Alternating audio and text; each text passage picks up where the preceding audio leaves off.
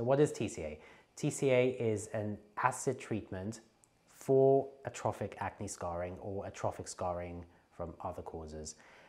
You are using an acid, trichloroacetic acid, that is put on the scars, applied onto scars using an applicator to cause a chemical reaction, an inflammatory process, which triggers the skin to heal. And in that healing process, you're creating collagen.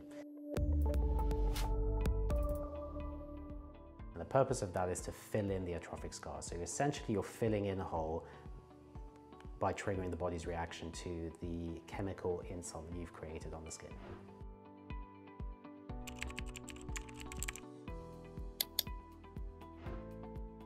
Any atrophic acne scar can be treated. However, ice pick scars and box scars tend to respond better than rounded scars. And those are essentially the three types of acne scars. You have ice pick scars, you have rounded scars, and you have box scars.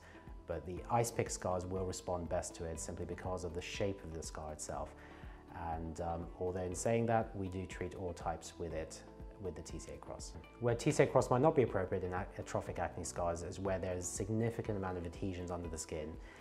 In that case, we would need to release those adhesions with subcision to divide those adhesions to lift the scar. So furthermore, certain types of scars that are very deep might respond better to an excision. In that case, where you're cutting out the scar and creating a smaller scar uh, by restitching the area.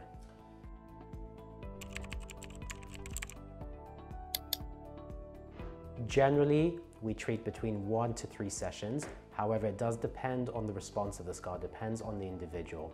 Some individuals heal better and heal quicker. Minimum time between treatments is about three weeks. And that's important because you need to allow the time for the skin to heal and time for collagen to build. And what you're doing there is overlapping treatment.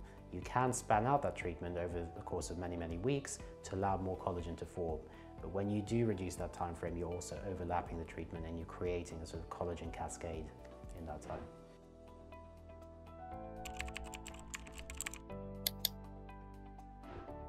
So TCA cross will be at the beginning of the journey.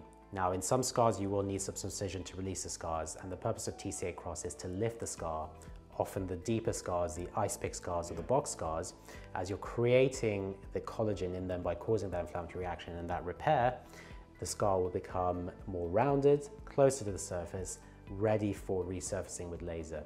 You can then go in again and do a micro subcision where you subcise a bit more to lift the scar that is now a rounded scar, having converted from a deeper ice pick scar or box scar to more rounded, flatter scar, and then release that scar even more and prepare for future treatments.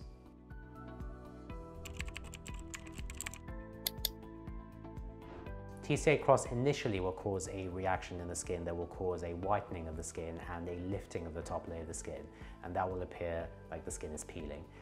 In the ensuing days afterwards, the area will scab. The scab is protecting the scar, and underneath that scab is where you get the collagen forming cells, the fibroblasts, that will essentially be the building blocks of the new scar that you have created.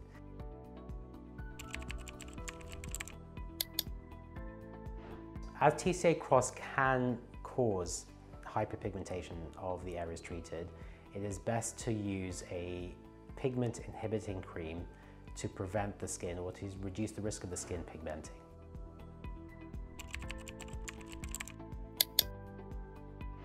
Importantly, the skin will be inflamed, the areas treated will be scabbed, so it's very important to protect those scabs. Protect the scabs by not uh, causing any trauma on the area, not rubbing the area aggressively, and preventing any exposure from the sun or from any other chemical peels for at least three to four weeks. When the scabs have fallen off, which usually occurs after three to five days, one can resume normal activities and normal skincare routine as well.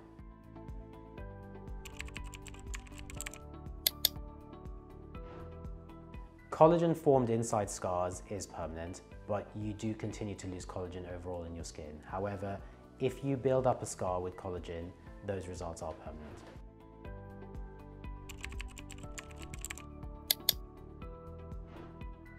If a scar, usually a standalone scar, is very deep or too large to respond to TCA cross or to microneedling or to laser, it would be more appropriate to cut out the scar and refashion the scar. And by that I mean you would essentially redo the scar and create a smaller scar, a, a linear scar or a line straight scar from that deep scar.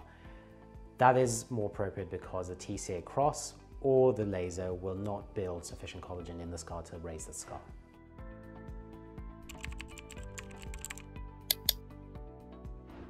We would cut out a scar if the scar is too deep or too large. Usually standalone scars, single scars, that would not be responsive to uh, TCA cross or to laser or to radio frequency simply because no amount of collagen that is generated in there will fill the scar. Best method for doing that are twofold.